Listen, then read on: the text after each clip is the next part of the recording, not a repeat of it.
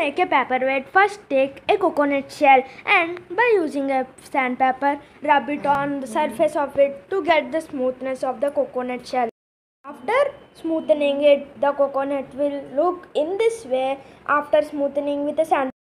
By using the polymer clay, make roses and and wreaths and stick on the coconut shell as you wanted.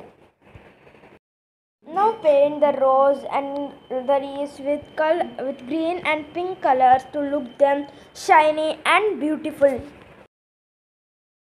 Now paint the coconut shell with the gold color to look beautiful.